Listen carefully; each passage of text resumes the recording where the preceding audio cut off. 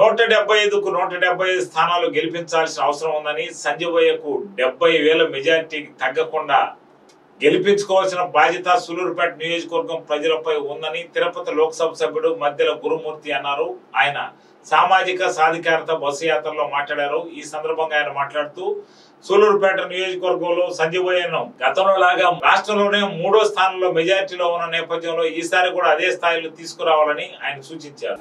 SC ST BC minority వర్గాలకు సంబంధించి ఎంత మేలు జరిగిందో అలాగే రెండు వేల పంతొమ్మిది ముందు స్వాతంత్రం వచ్చినప్పటి నుంచి రెండు వేల పంతొమ్మిది వరకు ఎంత మేలు జరిగిందో ఒకసారి మనందరం గమనించాల్సిన అవసరం ఉంది.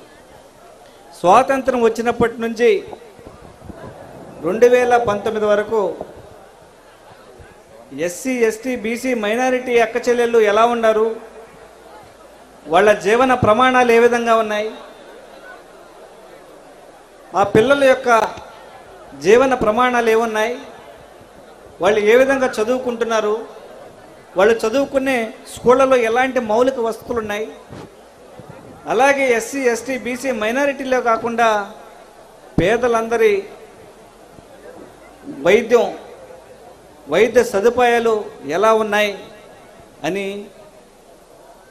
ఏ ఒక్కరూ పట్టించుకున్న పాపాన పోల వైఎస్ రాజశేఖర రెడ్డి గారు తప్ప. రెండు వేల పంతొమ్మిది తర్వాత కేవలం ఒక ఆరోగ్య వ్యవస్థకు సంబంధించి ప్రతి పేదవాడు ఆరోగ్యంగా ఉంటేనే ఈ రాష్ట్రం బాగుంటుంది అన్న ఉద్దేశంతో ఇరవై ఐదు వేల కోట్ల వరకు హెల్త్ ఇన్ఫ్రాస్ట్రక్చర్ మీద ఇన్వెస్ట్ చేయడం జరిగింది. అలాగే మన బిడ్డలందరూ బాగా చదువుకోవాలి పోటీ ప్రపంచంతో పోటీ పడాలి. వాళ్ళ జీవన ప్రమాణాలు భవిష్యత్తులో పెరిగే విధంగా చర్యలు ఉండాలని దాదాపుగా ఇరవై వేల కోట్ల రూపాయల వరకు వెచ్చించి నాడు నేడు ద్వారా స్కూళ్ళన్నీ అభివృద్ధి చేయడం చేస్తూ ఉంది.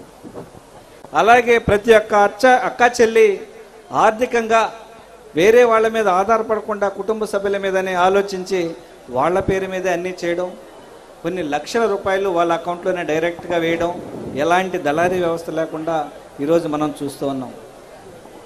అలాగే పరిపాలన ప్రభుత్వ పరిపాలన ఈరోజు మన ఇంటి గుమ్మెంట ఉంది.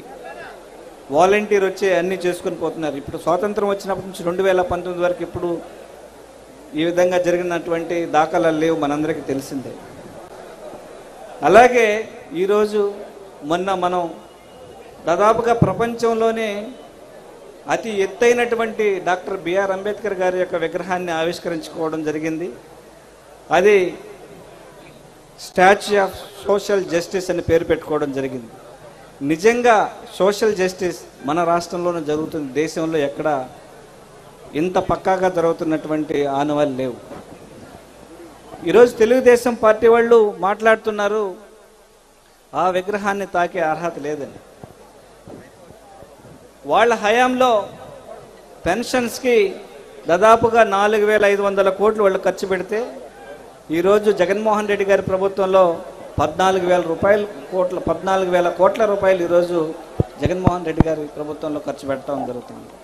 అలాగే డీబీటీ ద్వారా రెండు లక్షల ముప్పై నాలుగు వేల కోట్ల రూపాయల మొత్తాన్ని ఇప్పటి వరకు చరిత్రలో ఏ ఒక్క ముఖ్యమంత్రి చేయని విధంగా చేయడం జరిగింది. ఇలా చెప్పుకుంటూ పోతే అనేక కార్యక్రమాలు దాదాపుగా నూట ఎనిమిది నూట తొమ్మిది ప్రోగ్రామ్స్ ద్వారా అన్ని వర్గాల ప్రజలను ఆదుకుంటున్నటువంటి ఏకైక గొప్ప ముఖ్యమంత్రి మన వైఎస్ జగన్మోహన్ రెడ్డి గారు. ఇన్ని చేస్తున్నటువంటి ముఖ్యమంత్రి వల్లని ఆయన పెట్టినటువంటి టార్గెట్ నూట డెబ్బై ఐదుకు నూట డెబ్బై ఐదు గెలిపించుకోవాల్సినటువంటి బాధ్యత మనందరి మీద ఉంది. అందులో భాగంగా ఏవైనా చిన్న చిన్న పొరపాట్లున్నా అలుగున్నా ఇంకొకటి ఇంకొకటి మనస్పర్ధలున్నా అందరం కలిసి ఈ రాష్ట్రంలో మూడో మెజారిటీ దాదాపుగా అరవై మూడు వేలకు పైచిలకు మెజారిటీతో గెలిచినటువంటి సంజీవన్ని ఈసారి డెబ్బై వేల పైచిలకు మెజారిటీతో గెలిపించుకోవాల్సినటువంటి బాధ్యత మనందరి మీద ఉంది. ఎందుకంటే ప్రతి ఒక్కరికి అందరూ నచ్చాలని లేదు. ఏదో చిన్న చిన్న పొరపాట్లు నేను చేస్తుంటాను అందరూ చేస్తుంటారు. సో దయచేసి మన వైఎస్ఆర్ కాంగ్రెస్ పార్టీ కుటుంబ సభ్యులు అందరం కలిసి ఏకతాటిపైన నిలవాల్సినటువంటి టైం ఆసన్నమైంది. రాబోయే రోజుల్లో యుద్ధం జరగబోతోంది.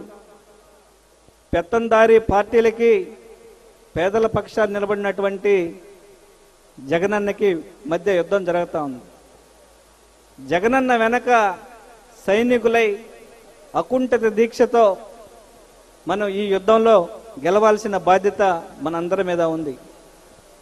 సో మరోసారి నాయకులకి వైఎస్ఆర్ కాంగ్రెస్ పార్టీ కుటుంబ సభ్యులకి ఎవరైతే చిన్న చిన్న మనస్పర్ధలతో ఉన్నటువంటి చిన్న చిన్న ఎవరైనా నాయకులు ఉన్నా కూడా అన్ని సర్దుబాటు చేసుకొని ఏకతాటిపైన మనం నడవాలని మనస్ఫూర్తిగా మీరందరూ ఒకసారి ఆలోచించాలని మనస్ఫూర్తిగా కోరుకుంటూ మళ్ళీ రెండు వేల ఇరవై నాలుగులో అత్యధిక మెజారిటీతో ఇదే సూళ్ళూరుపేట నియోజకవర్గం నుంచి సంజీవన్నని గెలిపించవలసిందిగా మనస్ఫూర్తిగా కోరుకుంటూ నాకు ఈ అవకాశం ఇచ్చినటువంటి పెద్దలకి మీకు అందరికీ పేరు పేరున నా హృదయపూర్వక ధన్యవాదాలు తెలియజేసుకుంటూ సెలవు తీసుకుంటాను